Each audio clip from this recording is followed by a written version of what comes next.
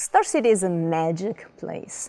Uh, it's the birthplace of cosmonautics, and it's this little city on the outskirts of Moscow, still tucked away in the woods, if you, if you want. Of course, we fly to the uh, space station on a Russian vehicle, the Soyuz, and so the training for those very critical moments of launch, ascent, docking, and then re-entry takes place in Star City.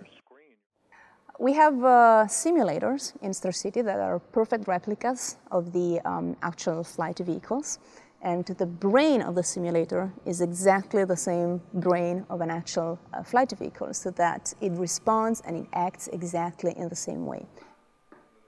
A very, very accurate mock-up and simulator of the Soyuz uh, MS-13 that we will fly. So it has a very sophisticated system inside that is identical to the system that will fly uh, on the actual machine. It replicates all the situation and the conditions that we will encounter during a nominal simulation or emergency situations.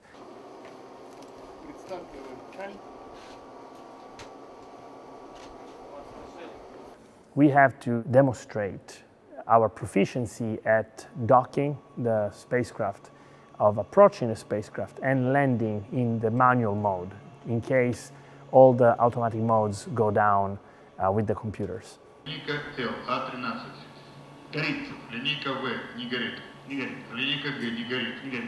If you knew for sure that everything goes right, then the training would be very short. Because in a nominal situation, uh, lots of things happen automatically or by ground control. What we train for, however, is a number of emergencies that we know could happen. It's unlikely, but we know that could happen.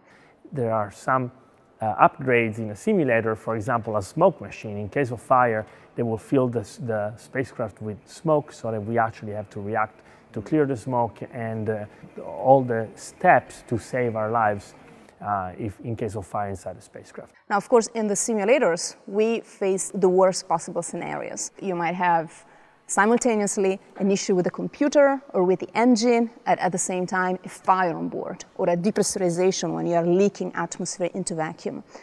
And a very tricky scenario that we practice in Star City is the case of the evacuation, where the atmosphere of the space station is compromised. So we have to wear the gas mask, evacuate the station, and then while we are in the Soyuz, we need to practice uh, donning or Orlan pressure suits putting on the hood of our Orlan suit and then putting on the mask again.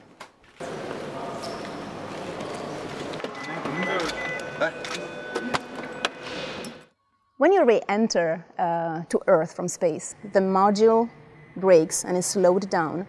You will feel yourself pressed into your seat with many times your own weight.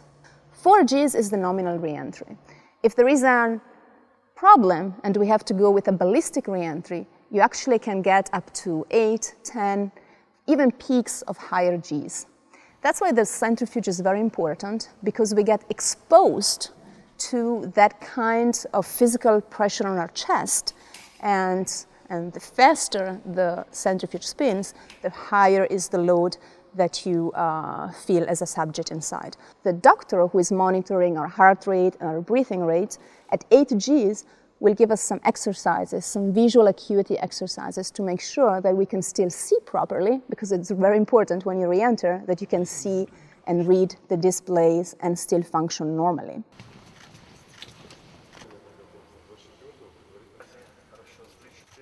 Since the acceleration is through the body, it pushes the blood away from the frontal part. So you really need a different kind of, of respiration and uh, exercise in order to maintain consciousness during, during the profile. My crew and I have been training uh, on a manual reentry profile. That means that uh, the spacecraft is still controllable, but instead of having an automatic profile with the computer driving the reentry, we have to fly it ourselves. Because the whole point of this um, manual reentry is to actually hit the spot where they are waiting for us.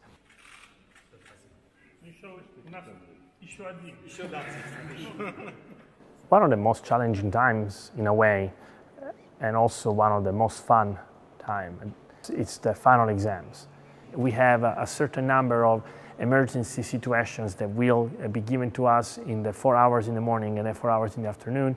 And the crew is tasked with responding to, um, to those emergency situations with their, with their knowledge, with their skills.